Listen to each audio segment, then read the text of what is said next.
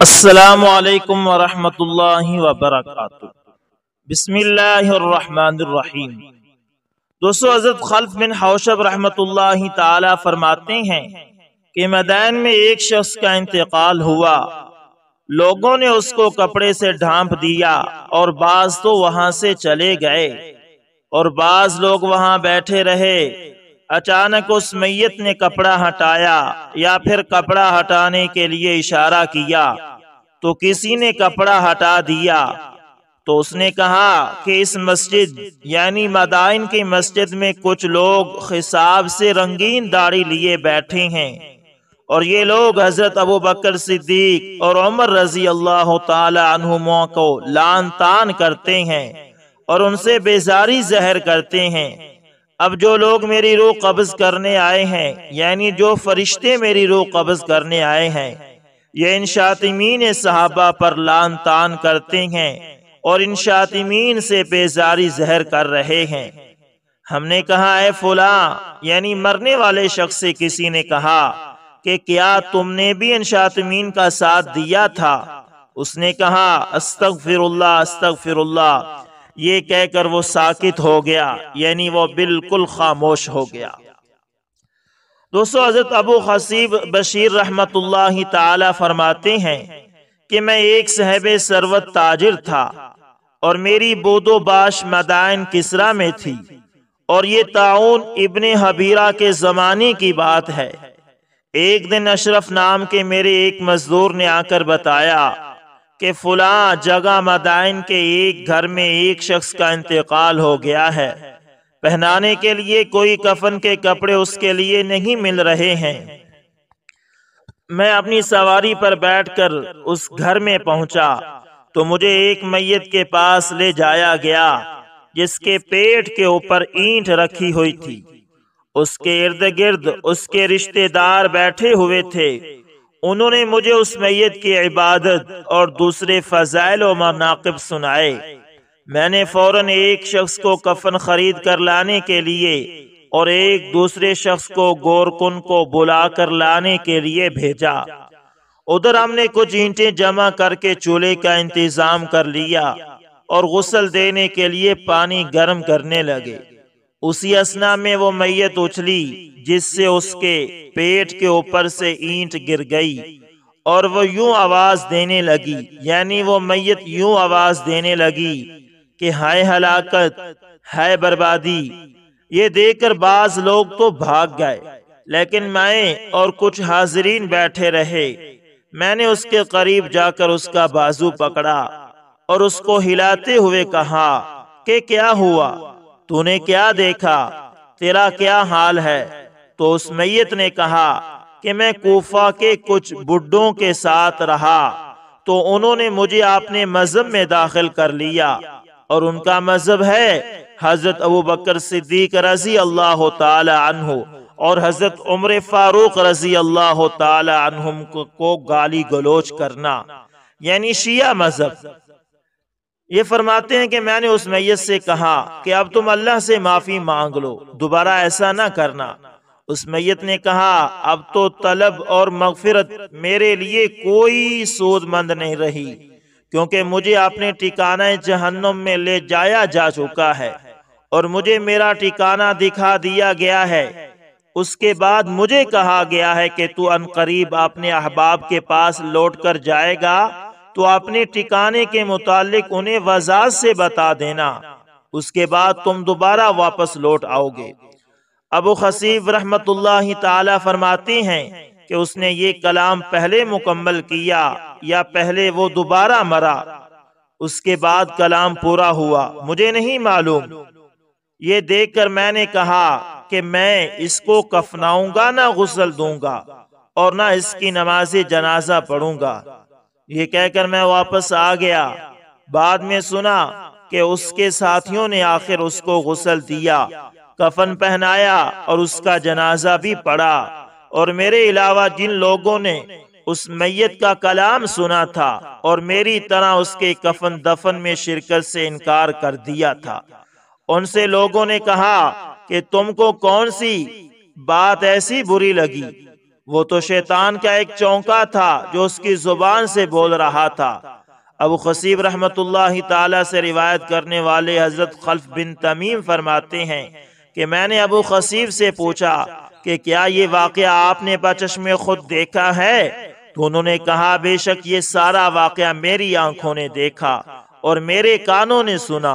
खल्फ रहमत ताला फरमाते हैं कि उसके बाद मैंने अबू खसीब के बारे में लोगों से पूछा कि ये कैसा आदमी है।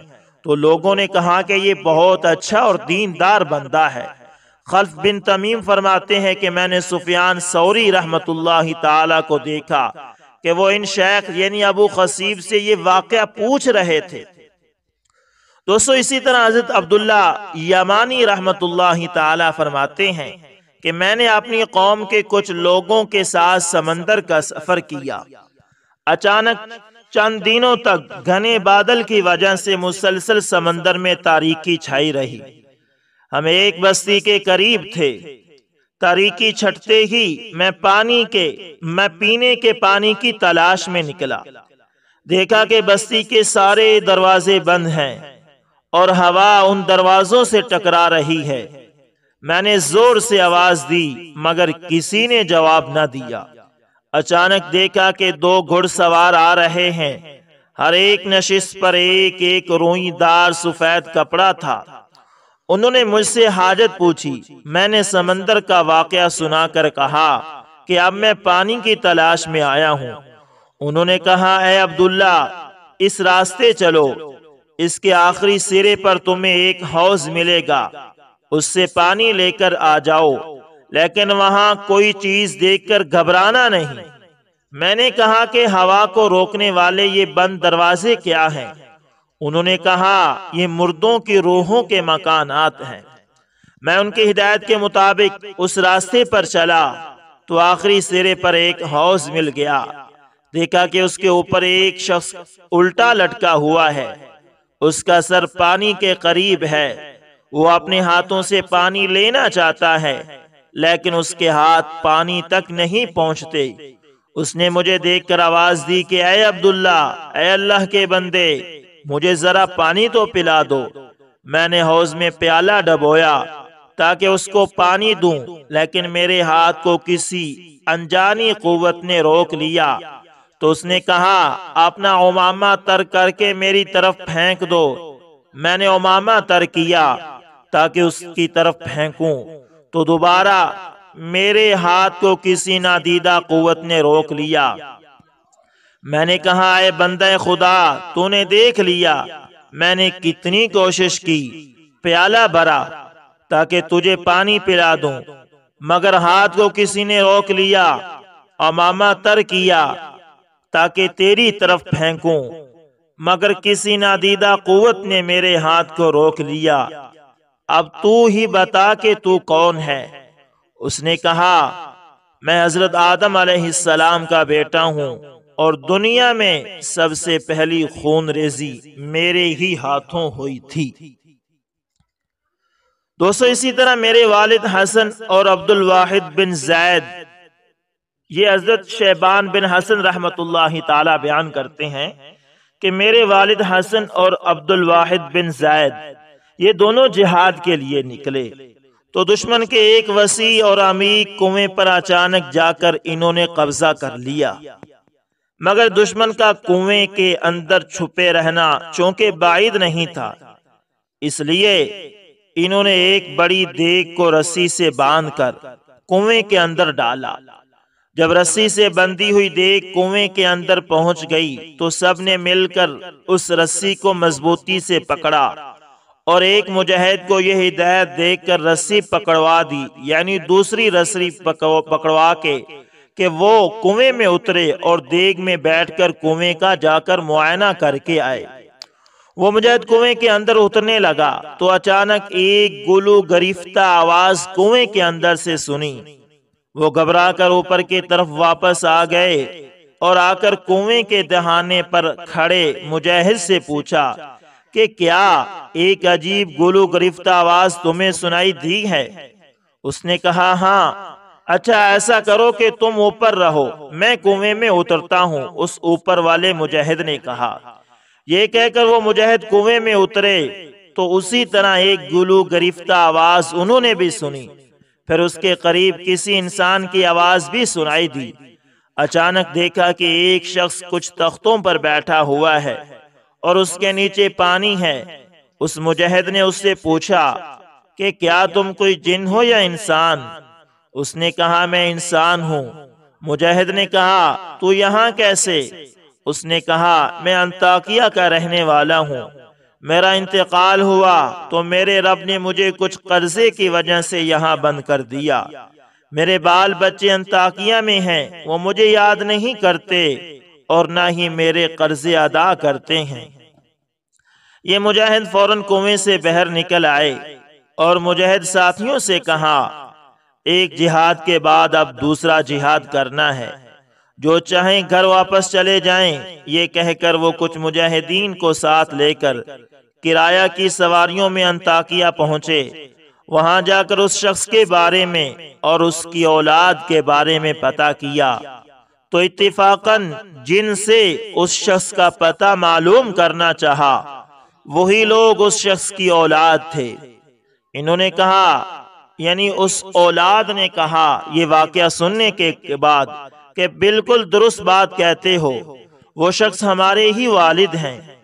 हमने अपनी एक ज़मीन फरोख्त की है। आप सब हमारे साथ चलें, हम अपने वालिद के कर्जे अदा कर देते हैं। ये मुजाहिद फरमाते हैं कि उसके बाद हम अंताकिया से दोबारा उस कुएँ की तरफ़ लौटे। हम पूरे यकीन पर थे कि वो शख्स अब भी वही होगा, लेकिन जब हम वहाँ पहुँचे तो ना कोई कुआँ था, ना उसका कोई नामो निशान था।